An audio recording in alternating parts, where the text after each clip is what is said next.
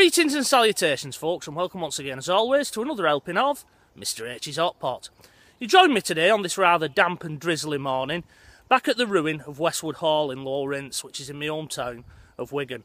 Now, I've already done a video on this building behind me, and I've covered all the history and what it looked like shortly before someone set fire to it. If you'd like to see that video, I'll put a link up now, and I'll also put a link at the end of this video so you can go back and take a look at it at what it looked like just before someone set fire to it as I've said. Now back when I did the other video about a month ago Wigan Council had just put shutters up across the windows and doors and it meant that nobody could go inside. They'd obviously done it for health and safety reasons. But today those shutters have been removed and we can get inside and take a look at the burnt out wreck or carcass of this building. Now, I was here a couple of days ago, just on an unrelated bimble, and I noticed a few uh, fluorescent jackets and white helmets walking around this building. So I thought I'd get down here this weekend and take a look at it because it is now in a really sorry and dangerous state. And I think what those gentlemen were doing, they was assessing the state of this building and it'll probably be demolished very soon. So I'm going to get round it and uh, document it for prosperity. And this is probably the final video that you'll see on Westwood Hall, certainly from myself. So without further ado, I'll get the camera off the tripod, we'll go commando and we'll take a look inside the burnt out wreck of Westwood Hall. So what Potters, this is where I started my last video from and as you can see the scene is very different today than it was a month ago. I'll put a bit of a screen grab in from my last video and you can compare what it looked like a month ago.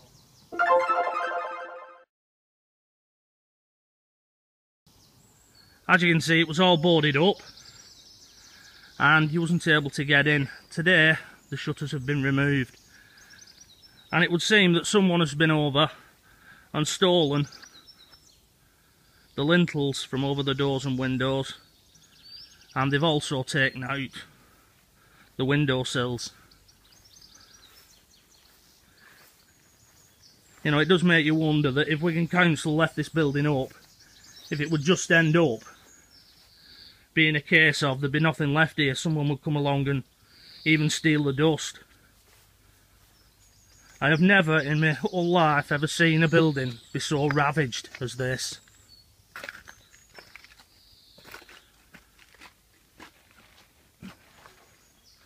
And this is the little cottage part. You can just see there were the stairs that I walked down over a month ago where those used to be.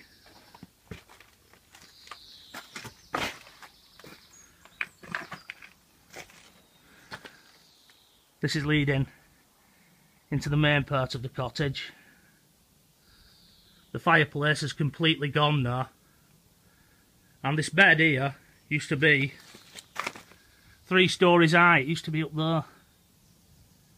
Again, in my video, you can see that with some bits and pieces on it. Now whilst I'm here, and I'm seeing this bed, there's a bit of an urban legend going around Lower Ince that the gentleman who used to live in this cottage, Mr Lillis, he had died in this cottage and he was in that bed when this building caught fire. That's not the case. As you'll see if you watch my video, I went through this building and there was nobody in. So, bit of an urban legend that one, Hot Potters. And you can see where they've come and remove lintels.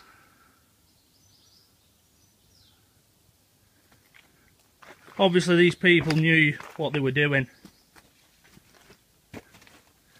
This is the stairs.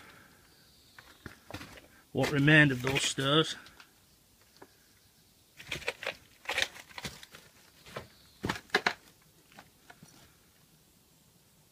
And we get a glimpse into the upstairs room there.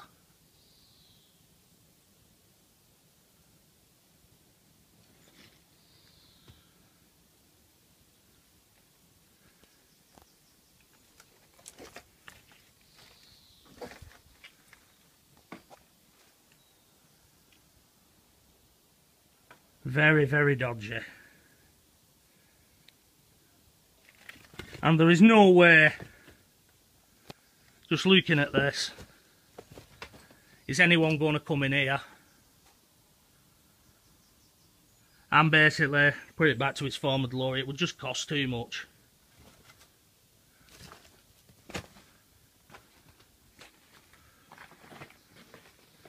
Make our way over there.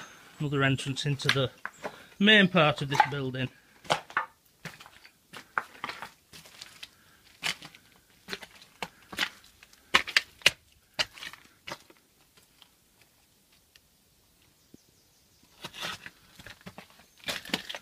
And in my original video, Hot Potters, I wouldn't go up them stairs. I'm definitely not going up them now. Now one thing that this fire has shown is where original entrances have been bricked up. You can just make out there where that would have been an entrance into the other room at one time.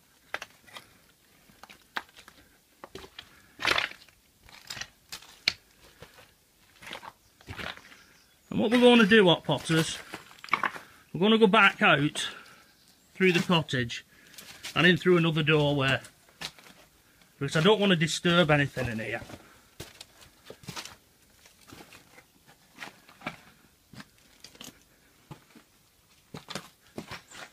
See a little chimney there, right up at the top. And it's funny when you're in a place like this, with all the interior removed, how small it looks when I was in here and everything was in place, it looked massive. Right then, I'll head back outside and I'll get in through another doorway.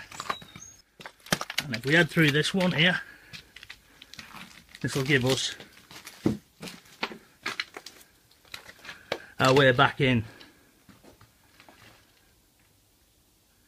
This is one of the rooms that I was looking in from over there. Pop the camera over.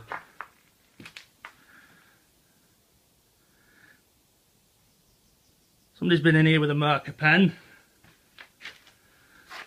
stating that Satan did this. I'll leave that to uh, to you Hot Potters whether that's the case or not. I very much doubt it. And what's happening now is that people are just coming in here and pushing walls over for fun. I'm now currently in the part that was from the Victorian era. That's that lovely staircase. That was made of mahogany once. Gone up in flames, so sad.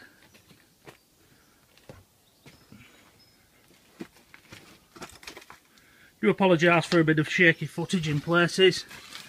I am trying to step over rubble and all cams.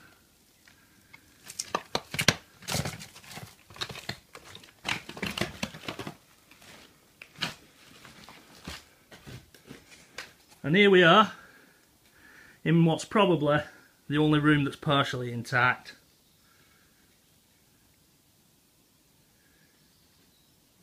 Again, you can see the devastation there.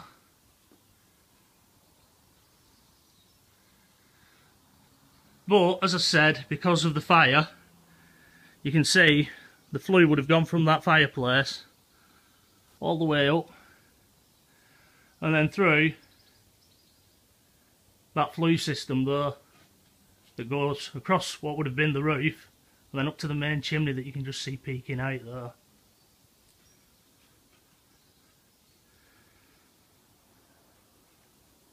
and you can see where they've been and they've kicked out the window frame there it's lying on the floor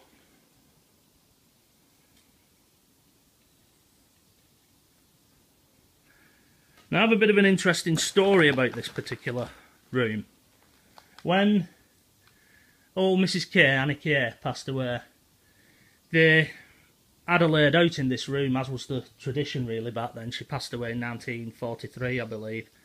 And they had Adelaide out there under that window. And all the people from the K's houses was expected to come up and pay the respects to her. So, one gentleman came up, he was a young man at the time, and He came with two of his friends, and they were stood at the doorway where I'm stood now, and this was as far as they got. They was daring one another to go over to her, as they was that frightened of her. She had she commanded that much respect at the time.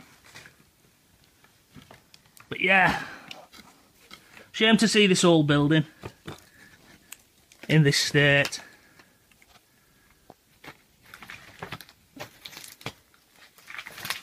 Now somebody's had that cast iron bath that was hanging, it used to hang there. Somebody's been and taken it for scrap. Probably a good thing really, so it'll not come down on somebody's head. But I'm gonna get out of here now, Hot Potters. And we'll have a walk around the outside of this building for the last time. Because I think, come next week, this is not going to be here.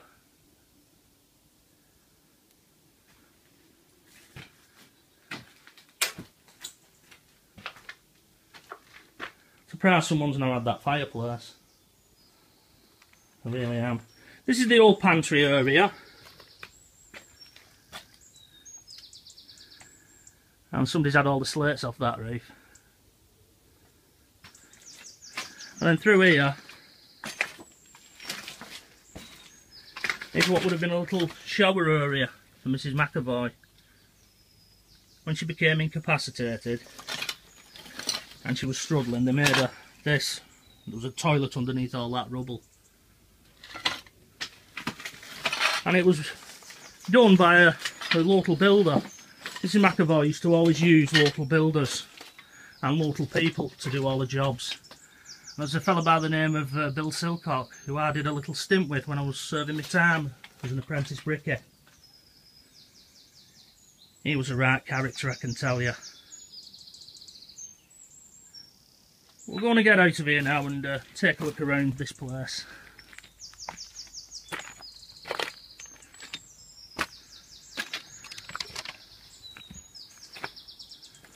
Now this here, Hot Potters, just before we go around the front of this building, is all that's left of that barn that I was stood in. Someone set fire to that and then pushed that over. And it does make you wonder just how much punishment this building can take.